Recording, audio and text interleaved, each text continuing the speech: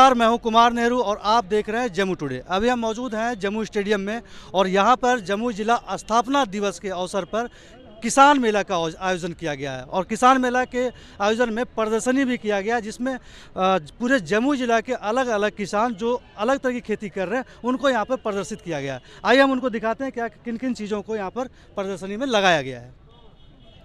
ठीक है ना?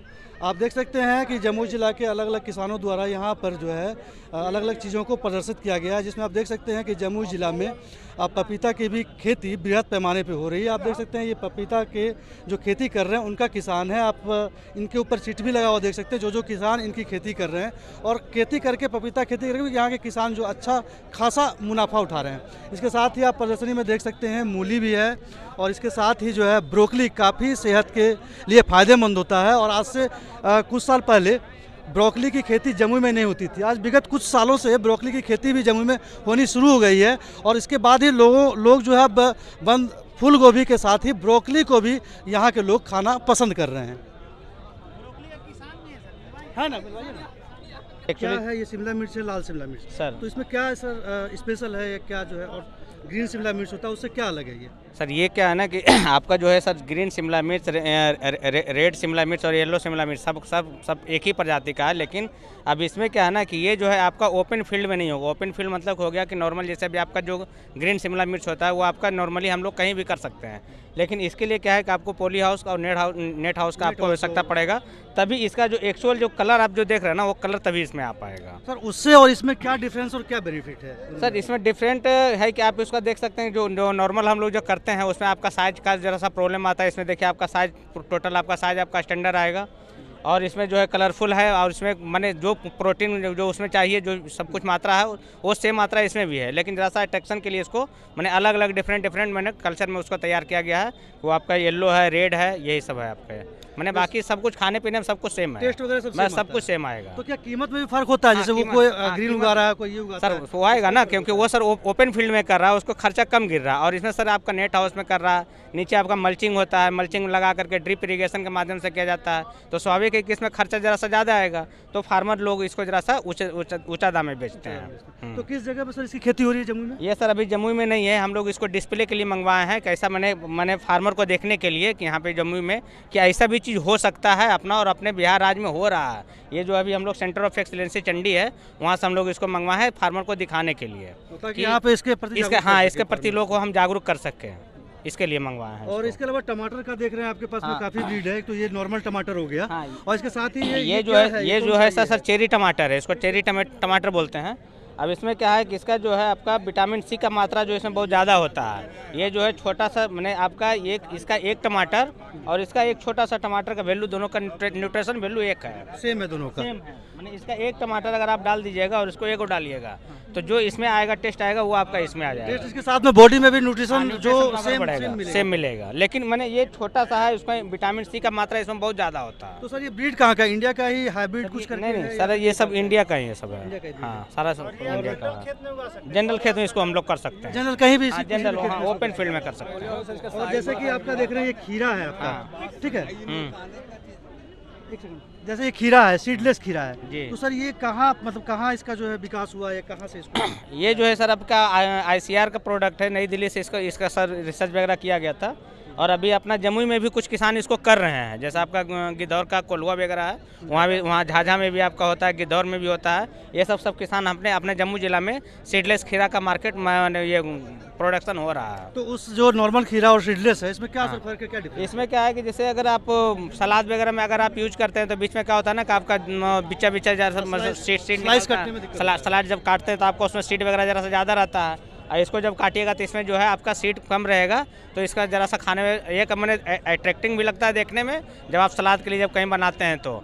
और इसका टेस्ट भी जरा सा उससे डिफरेंट है कुल मिला के किसान भाई इसको जो है जो महँगे होटल हैं फाइव स्टार होटल है उस जगह इनको जो है सेल हाँ, करके काफ़ी इसको सेल किया जा सकता है। जी जी। और सर क्या क्या आइटम्स है सर थोड़ा सा अब यहाँ पे क्या है ना कि हम लोग जो है ये जैसे देखिए आपका ब्रुसल्स है आपका।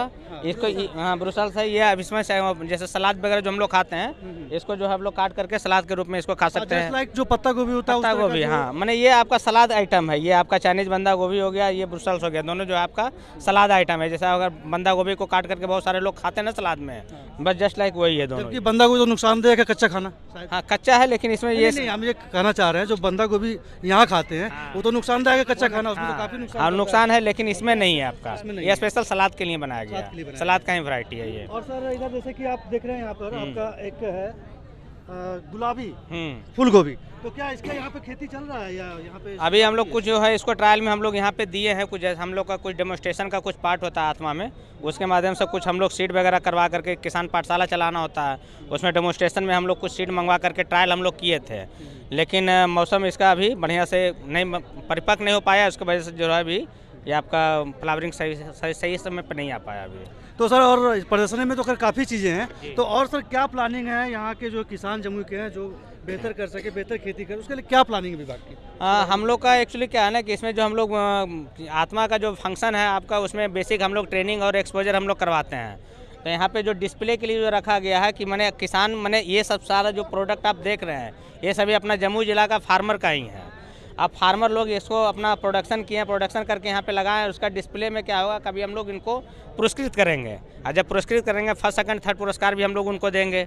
अब उसमें जो फ़र्स्ट पुरस्कार जो है, तीन हज़ार रुपया है सेकंड पुरस्कार दो हज़ार रुपया है, और थर्ड एक हज़ार रुपया है। अब इससे क्या होगा कि जैसे जो फार्मर को जिसको मिलेगा फ़र्स्ट सेकंड थर्ड तो वो प्रमोट होगा, स्वाभाविक होगा कि आगे जो भी किसान कर रहे हैं, उनका जैसा हौसला बढ़ेगा कि ताकि हम भी और बढ़िया से खेती करें, खेती कर करके हम भी अपना अगले साल जो मेला लगेगा, उसमें हम लोग इसको डिस्प्ले में लगा सकें, ताकि हम भी पुरस्कृत कर सकें। मतलब कि ज़्यादा से ज़्यादा ज़्यादा मुनाफा कमा सके। वो। हम्म। सर आपका परिचय क्या हुआ सर? मेरा नाम मुकुल कुमार है। हम अपना आत्मा में डिप्टी प्रोजेक्ट डायरेक्टर के पद पर काम कर रहे हैं। धन्यवाद। धन्यवाद। जो भी जम्मू ज़िले में लगभग जो है सारी सब्जियों को प्रदर्शित किया गया है आप देख सकते हैं ये पत्ता गोभी है जिसके आप साइज़ देख सकते हैं बड़ी बड़ी साइज़ के रूप में भी पत्ता गोभी है और फूल गोभी का भी आप साइज़ जैसा कि हमको लग रहा है ये ये आप पत्ता गोभी को देख सकते हैं ये कम से कम तो एटलीस्ट चार से पाँच किलो का होगा। और इसके साथ ही आप फूल गोभी को देख सकते हैं प्रदर्शित किया गया है जो यहाँ के स्थानीय किसान द्वारा उगाया गया है। आप देख सकते हैं इस पर चीट लगा हुआ है फूल गोभी। नंदन कुमार स्थानीय किसान है, उसके द्वारा उगाया गया। आप देख सकते हैं इस फूल गोभी की साइज़। तो इस तरह की यूनिक चीज़ों को इस प्रदर्शनी में रखा गया है। अभी हमारे साथ नीम नवादा के किसान मौजूद हैं जो ब्रोकली की खेती करते हैं। आइए उनसे जानते हैं कि क्या है इनका फ़ायदा और क्या ये फ़ायदा उठा रहे हैं ब्रोकली क्या क्या नाम हुआ आपका? हमारा नाम सुशील कुमार हुआ घर नीम नवादा हुआ। तो आप ब्रोकली की खेती करते हैं? हाँ ब्रोकली बंदा साल से कर रहे हैं आप इसका खेती? पंद्रह साल से कर रहे हैं खेती। पंद्रह साल से लगातार ब्रोकली कर रहे हैं बंदा नहीं? पंद्रह साल के पहले कर रहे थे ब्रोकली और फूल गोभी पत्ता गोभी अभी भी कर रहे हैं। तो लेकिन ब्रोकली का तो हमको लगता है चार पाँच साल में ही जब स्टार्टिंग हुआ है इधर तीन साल से ज़्यादा हुआ हाँ, पहले तो वही हम ब्रोकली के बारे में जाना ब्रोकली का कब से आप खेती कर रहे हैं? ब्रोकली का तीन साल से खेती कर रहे हैं। तो ब्रोकली की खेती में और वो जो आपका जो फूल गोभी है उसमें और इसमें क्या फ़र्क है? सर उसके अलावा इसमें विटामिन बहुत अधिक मात्रा में पाया जाता है फूल गोभी के अपेक्षा ब्रोकली में। और इसका कीमत अभी तो फ़िलहाल उतना लोग जानता नहीं इसके वजह से हम लोग को कीमत नहीं मिल पा रहा है सर।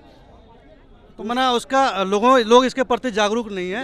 इसके वजह से आपको जो है कम कीमत मिलता है कीमत है फिर भी आप कितना कितने ज़मीन में आप करते हैं इसका खेती? इसका पाँच छः कट्ठा करते हैं। तो साल में एक बार फ़सल में कितना इनकम हो जाता है आपको? पाँच छः कट्ठा वही बीस बाईस के हिसाब से बिकता है। और जो कि तो जनरल मोटा मोटी कितना आमदनी हो जाता है बोकली खेती कर करके वही लगभग पाँच छः कट्ठा में लाख एक लाख रुपया। एक लाख। हाँ एक लाख रुपया। और वहीं अगर जो है ब्रोकली के बजाय आप जो है फूल गोभी करेंगे तो फूल गोभी से ज़्यादा पैसा इसमें कमा रहे हैं या कम कमा रहे नहीं फ़िलहाल अभी ज़्यादा नहीं हो रहा है सर। लगभग बराबर ही हो रहा है। बराबर ही हो रहा है। लेकिन इसका मार्केटिंग जो है पटना वगैरह में यहाँ की अपेक्षा ज़्यादा है। तो यहाँ से क्या मतलब पटना भी जा रहा है या फिर यहीं नहीं सर हम लोग के पास कोई सुविधा ही नहीं है ले जाने का इसलिए हम लोग का नहीं जा पा रहा है। लेकिन हम लोग यहाँ जब बीस रुपये बेचते हैं तो पटना और बड़ा बड़ा शहर में जो है इसका कीमत अच्छा खासा रहता है।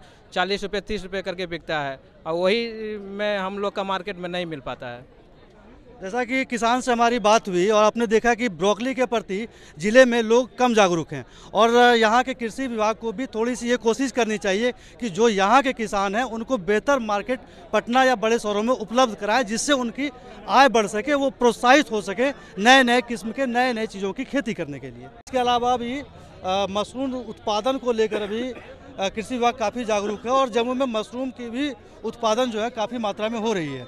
आप देख सकते हैं यहाँ के स्थानीय किसानों द्वारा जो है मशरूम उत्पादन करके यहाँ पर जो है प्रदर्शनी में रखा गया है। उस पर आप देख सकते हैं कि किसानों का नाम भी लिखा हुआ है। हालाँकि इस मशरूम को जो है ऑयस्टर मशरूम के नाम से जाना जाता है। न्यूट्रिशन वैल्यू ज़्यादा होता है और लोग कम जागरूक है, इस वजह से मशरूम यहाँ पर अभी छोटा सर होने की वजह से कम खपत होती है। आइए यहाँ पे एक मशरूम के किसान हैं, उनसे जानते हैं वो खेती कर रहे हैं और कब से कर रहे हैं। क्या नाम हुआ आपका? ललिता देवी। अ, कब से कर रहे हैं मशरूम का आप दो हज़ार सोलह से में दिए थे सब आत्मा से मिला था सब चाट रस्सी दवाई बीज सब टोटल सामान मिला था। हमारा खाली मेहनत था और उस बार उपजाए और बेचे भी। कृषि मेला में पचास किलो मशरूम ला के बेचे थे। तो जो मशरूम आप लोग अभी जो उत्पादन कर रहे हैं तो आप लोग कहाँ बेचते हैं उसको? घरे से ले जाता व्यापार लोग। ये एक सौ सत्तर रुपये अस्सी रुपये किलो बाज़ार में दो सौ कर देता है। कहाँ से आते हैं व्यापारी साहब व्यापारी से आता है मतलब व्यापार कभी देवघर से आ जाता है कभी लौकले कुंजड़ा उठा लेता है। तो कौन सा मशरूम आप उगाते हैं? ये वाला बॉस्टर वाला? ज़्यादा उगाते हैं वो कम उगाते हैं। कम उगाते हैं। तो मांग किसका ज़्यादा रहता है? मांग तो इसका अभी सीज़न में इसका सस्ता है इसका बहुत मांग है। और उसका जो महँगा वो फैशनेबल तो बड़ा बड़ा आदमी। हाँ तो कम मांग। महँगा ज़्यादा है इसलिए वो खाता है। तो जैसा कि आप देख सकते हैं कि ज़िले में चूँकि जो है ऑयस्टर मशरूम का उत्पादन हो रहा है और ये उत्पादन इसमें कुछ ज़्यादा आसान होता है इसका उत्पादन करना। जबकि जो है बटन मशरूम को उगाना थोड़ा सा मुश्किल काम होता है। गिद्धौर के एक किसान है राजा बी केसरी। उनके द्वारा जो है एप्पल बेरी उगाया गया है। आइए उनसे जानते हैं कि क्या है इसकी खासियत और तो आप बताएँगे नमस्कार खासियत है? आ, ये सर जो एक बैर है है ना लेकिन हाँ, एक- बैर हाँ नॉर्मल है लेकिन वो नॉर्मल से कुछ अलग है ये। इसमें जो स्वाद है इसका वो पूरी तरीके से सेब का है। तो इसमें जो दिखाएँगे तो इसमें आपका जो बैर के अंदर जो कसपन होता है खांसी के लिए होता है ये उसमें नहीं है। ये पूरी तरीके से आपका एप्पल जो होता है पौधा उससे क्रॉस करके आपका एप्पल बैर के साथ किया गया है क्रॉस ब्रीडिंग किया हुआ है ब्रीडिंग किया हुआ ये। क्या एप्पल के साथ में ब्रीडिंग होता है या बैर का ही दूसरा बैर का ही सर बैर के पौधे के साथ एप्पल का ब्रीडिंग किया हुआ है। दोबारा फ़ोटो उठा लेंगे ये आपका ग्रीन है सर हमारे यहाँ पे पाँच हाँ, प्रजाति का लगा हुआ है। बताइएगा। यस सर तो जो ये एप्पल बेरी जो है एप्पल बेरी जो है हाँ, हाँ, बेर, इसका किस तरह से क्रॉस करके इसको जो है उत्पादन किया ये छोटा सा आपका नर्सरी तैयार होता है है ना? नर्सरी के साथ फिर जो एप्पल का जो डंटल होता है उसको साथ उसमें क्रॉस किया जाता है। जैसे नॉर्मल किया जाता है आपका ब्रीडिंग के लिए उसी तरीके से होता है। और फिर इसको ज़मीन में जैसे हम लोग लगाते हैं नर्सरी को उसी तरह लगा करके इसको विशेष हम लोग ट्रीटमेंट ये किए हैं कि ड्रिप के साथ किए हैं इसको। ऐसे जो हम लोग खेती करते हैं कि उसको ऐसे पौधा लगा देते हैं। लेकिन इसको ड्रिप के साथ लगाने से क्या है इसको हम फ्रूटिंग लेना है इससे। और उच्च प्रजा- उच्च क्वालिटी का इसमें चाहिए हमको। तो वो इसके लिए आपका ड्रिप के साथ किए हैं। साथ में ऑर्गेनिक ऑर्गेनिक है। इसमें कोई भी तरह का, का आपका खाद। खाद फर्टिलाइज़र नहीं डालते हैं। इसमें सिर्फ़ आपका जो जीवामृत हाँ, बीजामृत है वो हाँ जो आपका जो क्योंकि ये खाने खाने में उपयोग होगा ये।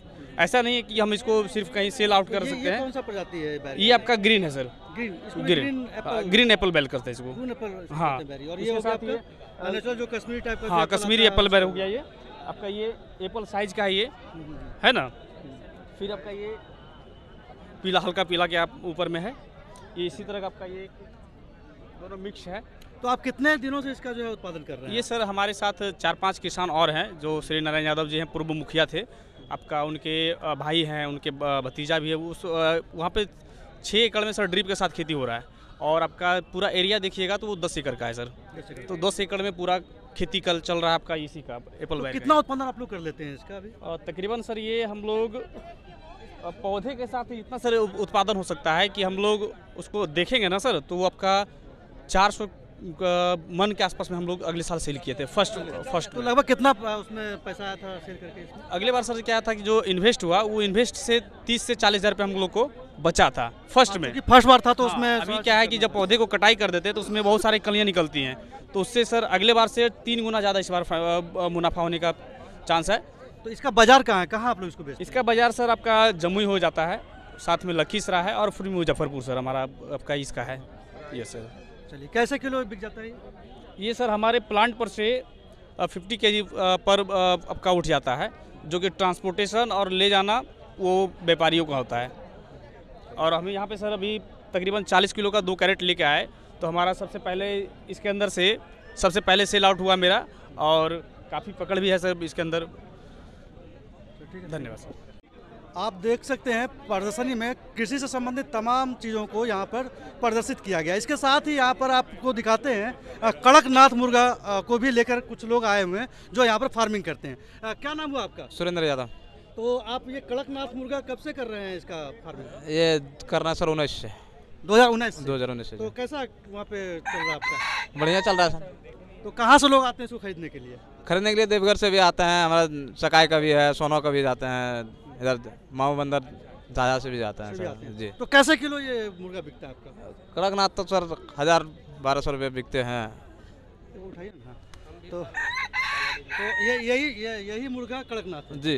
जैसा कि आपको बता दें कि कड़कनाथ मुर्गा की फ़ार्मिंग क्रिकेटर महेंद्र सिंह धोनी भी कर रहे हैं। उनके फार्म में भी कड़कनाथ मुर्गा की फ़ार्मिंग हो रही है और काफ़ी मात्रा में वो बाहर सप्लाई भी कर रहे हैं। और ये अपने चकाई में भी कड़कनाथ मुर्गा की फ़ार्मिंग हो रही है। आइए और भी जानते हैं इनके बारे में कड़कनाथ मुर्गा के बारे में। इस मुर्गे में क्या खासियत है कि इतना महँगा बिकता है? सर ये मुर्गा टेस्टिंग अलग ही है और खाने से अच्छा फ़ायदा शरीर में तंदुरुस्त मिलता है। बहुत ज़्यादा फ़ायदा। जी बहुत ज़्यादा फ़ायदा इनके लिए। तो कितना मुर्गा आप पाले हुए हैं वहाँ पे अपने फार्म मुर्गा तो वहाँ दो सौ से ऊपर है सर। दो सौ से ऊपर।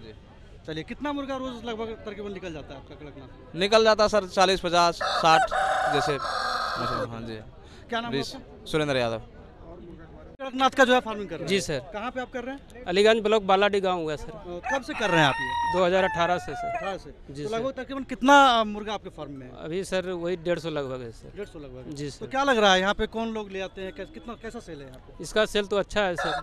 हज़ार रुपये के जी बिक जाता है सर। तो स्थानीय लोग लेते हैं या बाहर से भी आते हैं सर। मुंगेर भेजते हैं उधर से पूरा लखीसराय इधर भी भेजते हैं। नालंदा जिला भी दिए हैं बहुत सारा को। जी सर। तो ये जमुई टुडे की खबरों से तुरंत अपडेट रहने के लिए डाउनलोड करें प्ले स्टोर से जमुई टुडे ऐप। अगर आप वीडियो को YouTube पर देख रहे हैं तो प्लीज़ हमारे चैनल को ज़रूर सब्सक्राइब कर लें, वीडियो को लाइक कर लें और नोटिफिकेशन बेल को ज़रूर प्रेस कर लें ताकि लेटेस्ट वीडियो की नोटिफिकेशन आप तक पहुँच सके। इसी के साथ अगर आप हमारे वीडियो को फेसबुक पेज पर देख रहे हैं तो प्लीज़ वीडियो को लाइक और शेयर ज़रूर।